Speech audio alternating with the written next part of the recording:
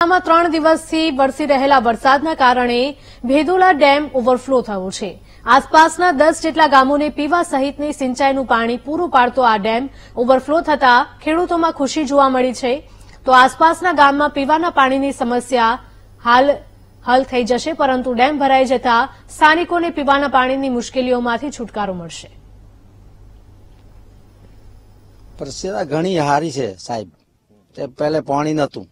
પીવાનું પાણી ન મળતું. એટલો વરસાદ પડ્યો છે, તો પાણી બહુ જ પાણી આવી ગયું છે. એટલે ઘણો ફાયદો લોકોનો થઈ ગયો, કેમ? એવો ફાયદો થઈ ગયો, કૂવામાં પાણી આવી જશે, ડેમના પાણીથી કમાણી કરશે, અને ખૂબ લાભ થઈ ગયો છે. અહીંયા છેલ્લા દસ દિવસથી આ પાણી જાય છે. ઉપર એટલે આ બાજુ અંબાજી સેબલ પાણી ત્યાં વરસાદ ભારે થાય તો સરવા નદી મારફતે અહીંયા ડેમમાં પાણી આવે છે. તો અહીંના જે લોકલ પબ્લિક છે અહીંની, આ ધનપુરા સાઈડ ગામ અને આ ડાભેલી, બંને ગામોને પીવા માટે અને સિંચાઈ માટે, બંને માટે આ ડેમનું પાણી ઉપયોગી બને છે. અહીંયા બાજુમાં પાણી પુરવઠાનો પ્લાન્ટ નાખેલો છે, જેમાં આ પાણી ફિલ્ટર કરી અને પીવા માટે આજુબાજુના દસથી પંદર ગામોને ઉપયોગી બને છે.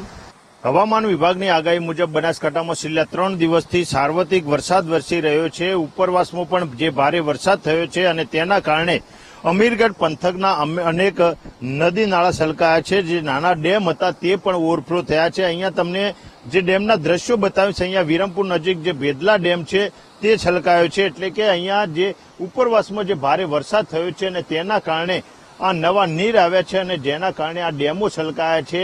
બનાસ નદીમાં પણ નવા નીર આવ્યા છે.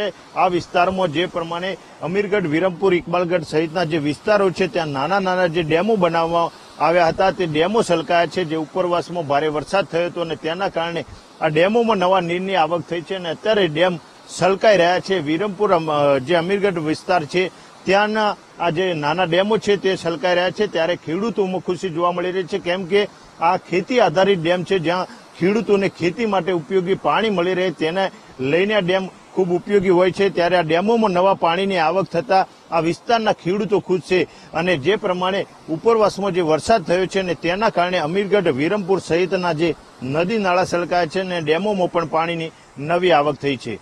મોગજી ચૌધરી, વીટીવી, બનાસકાંઠા.